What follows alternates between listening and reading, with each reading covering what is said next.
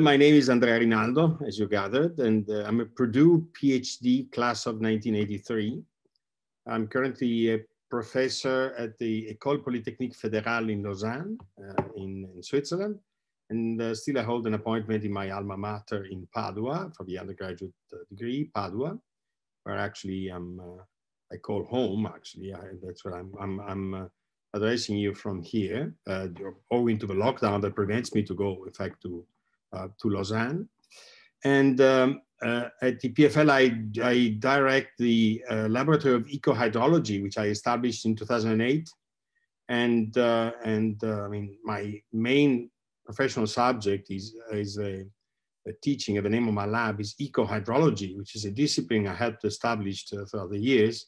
In fact, it's relatively new. It's, it's a water controls on living communities. And a bit, I'll be, I'll be getting back to you.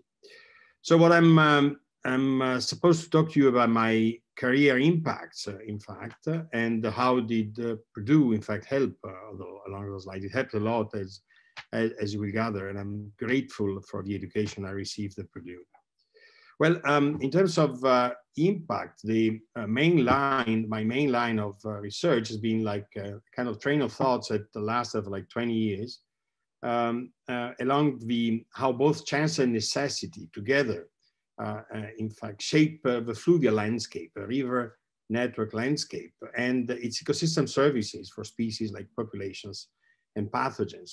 So in brief, seeing from a narrow angle of, um, of, a, of, a, of, a, rivers and their organization, how nature works. That's something that interests me deeply. And uh, uh, this allows you to touch base with uh, science and engineering issues like floods, like droughts, uh, like a fair distribution of water, down to issues like population migrations and uh, disease spread that sadly are so important nowadays. Uh, my um, major career impacts, I, I, was fortunate enough to, uh, to uh, become full professor early on. I was uh, 30 years old in the Italian system, which is a strange and idiosyncratic one, but sometimes um, it has opportunities like uh, the ones that I was fortunate to grab early on. And um, and uh, uh, when I got the recognition from my peers and uh, among the things I most coveted uh, on, I got a few prizes, a few international prizes actually for water, uh, including the uh, Prince Sultan Abdelaziz International Water Prize years back, or certain or a medal of a Dalton Medal for the EGU. But most importantly, um, membership in learned institutions, uh, and uh, here Purdue means uh, very much. In fact, uh, I'm a member of the National Academy of Engineering of, uh, as foreign associate because I'm not a citizen, and the National Academy of Sciences, the American Academy of Arts and Sciences, and uh, the Italian National Academy, I Lincei, the oldest university that cannot be classified as the oldest serving, in fact, academy because it was disconnected for about 100 years during the 19th century. But anyways, I'm very proud of that affiliation as well. Why did uh, Purdue help? It helped a lot. Uh, first of all, for my feeling very much uh, attached to my American education, to that uh, a certain the freedom and uh, the uh, the idea that there's no glass ceiling that prevents a foreigner to achieve in science and for the superb education, the superb graduate education I, I got actually. And um, uh, thanks to that, um, uh, the basic tools that I received from uh, uh my graduate school at Purdue, they gave me the freedom to look across different cultural landscapes and perhaps innovate uh, uh, and innovate in that, in, in, in that matter.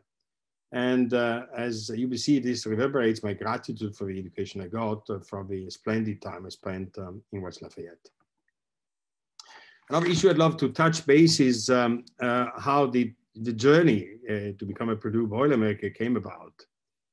Well, uh, it was a, a, curious thing. I, I, uh, I owe, in fact, my infectious vocation for, for the academy. I was born in Padua, was an undergraduate student and um, uh, and uh, owing to great teachers and mentors that they became later became colleagues like Claudio Datei, very close friend, and the guy whose chair I inherited back uh, back later on.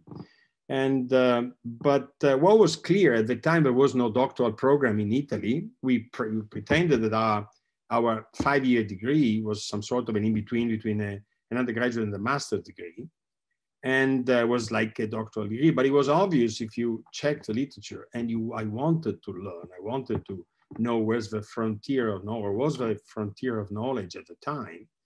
Uh, it was very clear that um, uh, it wasn't. So I wanted to pursue graduate studies. So in a typical Italian path, I told to my senior professor there to contact uh, someone in the US to recommend for graduate school. So, and he was Professor Bugliarello, then the, the, president of the New York University. We talked to Gary Toebes, at the time was the director uh, of a, a, a, water section or whatever it was called at the Department of Civil Engineering when I grew up. And, um, and uh, that was curious because then he contacted Professor Giorgini, my advisor, late Professor Giorgini, whom I remember uh, with, uh, uh, with love, no matter how he died very early, in fact, he was a very unfortunate person, in fact. And, um, and uh, well, it, it, so happened that I had accepted another offer from a major technical university. But um, uh, Professor Giorgini called my home and, and uh, just uh, got me so enthusiastic that I decided to go for Purdue. That's uh, how it all came about. Then uh, the, the other thing I'm supposed to comment on, and I'm delighted to do so, is about how Purdue Engineering prepared for my current job. Well, what Purdue taught me, mind you, while I was there, Herbert Brown got the Nobel Prize for Chemistry, and, I, and the sheer enthusiasm that that, pro, that um, resonated through campus uh, meant a, a, lot to me as, as well. But the main idea is that, um, um, in fact, Purdue engineering taught me to fear nothing. And the fact that, that they gave me that spirit, that engineering spirit, mind you, I'm, I'm inaugural uh, Neil Armstrong fellow and talking about endeavor and how, how in fact, uh, uh, you can actually uh, believe in something bigger than what uh, you might be designed to do at, at any stage of your career.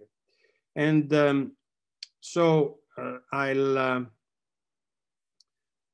the, the kind of, the, the, idea that, well, we may not know not much about that, what technical you might need to a certain problem, but the main engineering basis, engineering is computation, as famously said, is to understand one problem well, and from there to fear nothing. If you don't know something, you learn it. I can learn anything. That's why I taught myself to become first, I was a theoretician. My PhD was in fluid mechanics, great, great gym for mental uh, activity, for mental speculation, and for mathematical and computational tools. I taught myself to become a field person and a lab person because I was interested in a particular problem. So field work, lab work, and theoretical work together was the mark, uh, is the mark of my lab, in fact. That's very much rooted in the rooted in the engineering spirit I built uh, at, uh, at Purdue, in fact. And, um, and uh, uh I'm also asked to comment on my favorite uh, uh, Boilermaker memory.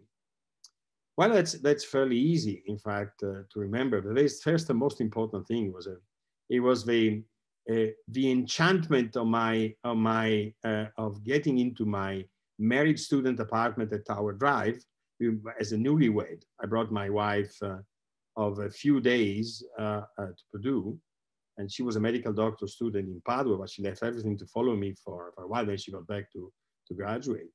But for us, we are the old school, where we didn't even go to uh, alone to vacation uh, together. So for us, it was a complete enchantment, and that. Uh, and I visited recently the the married student apartments up in Tower Drive, near the reservoir are still very much like I left them like 40 years ago. And um, that's certainly the, the nicest memory we had. Mind you that after uh, we uh, flew in on a Friday and on a Sunday, it was 1981, um, uh, the, we reached minus 75 degrees Fahrenheit on a Sunday morning. It was a kind of a cold welcome that uh, West Lafayette gave us uh, those days. And, uh, and I'll always remember that. Purdue, I remember also fondly friendships that lasted for a lifetime. And I'd love to mention in particular my classmate, Christopher Burke, who's um, a major figure in the professional landscape uh, in Chicago and uh, throughout Illinois and Indiana, and on a national scale now. and uh, and uh, and a very dear personal friend after so many years. So um, in in wrapping up my message is that why Purdue was so important. Purdue was so important because um, it it um, taught me uh, to ask myself whether I had tools for uh, for wondering what's next. Where's the gold medal? Uh, if I don't have the tools uh, to reach what I set as my goal, you can actually uh, build the tools. You can learn anything. You may not know much, but uh, you can learn anything and uh, anything that you want. And in a sense, will I always remember those years as the most formative of my life, actually. And I've been so proud when um, I was uh, uh, uh, granted the inaugural visiting fellowship, Neil Armstrong Fellowship, visiting professorship, whatever it is called, that gave me a chance to get back to campus as I had before through the courtesy of the Department of Civil Engineering, that with which I kept maintaining contacts throughout the years. So um, this is pretty much what I had to tell you, but um, I can tell you that the only thing which uh, it's, it's a deep uh, wound for me not to be able to be with you in person, but um, I'm looking forward very much uh, to see you as soon as possible when all this uh, uh, mess of a pandemics will allow me to. I promise it.